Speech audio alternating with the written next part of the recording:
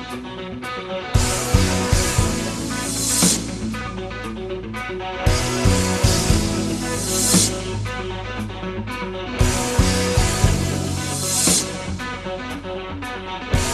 folks, Jiminy Critic here with a movie review for you for the movie Diary of a Wimpy Kid. That's right, the title of this movie, and all of you have been there in junior high, you know you have. I'll talk to you about that in a minute, called Diary of a Wimpy Kid. And this is a movie based on the kids' best selling books by Jeff Kinney, and basically what his books do is tell the story of junior hires going through, you know, what a nightmare junior high was for a lot of folks. If you can remember back to the days when you were there, those middle school grades can be some of the most fun and some of the most horrific times of your life. Well, Jeff Kinney has penned books that have become very popular with kids, and they made this first one into a movie here. And this movie stars, uh, you're going to probably see a lot of this kid. I thought he did a great job in the movie.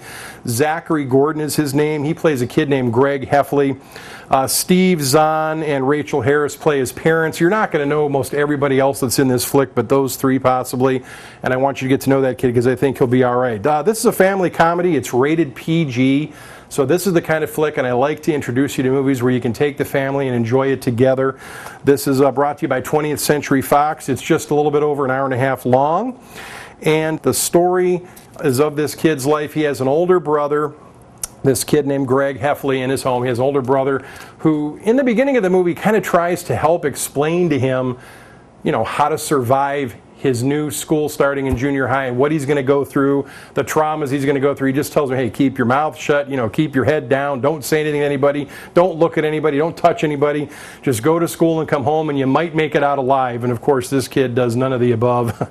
and he's got a couple of friends there in junior high that they're his best friends before they got into junior high, but as they're all getting older now, some of the friends he thinks are still trying to be a little bit immature, and he doesn't like some of the antics. He thinks they'll be embarrassing to him at school. You know, his mom drops him off in front of the school and gives him a kiss and waves, "Goodbye, honey. Have a great day." All those things that junior high kids just hate to have happen in front of their peers.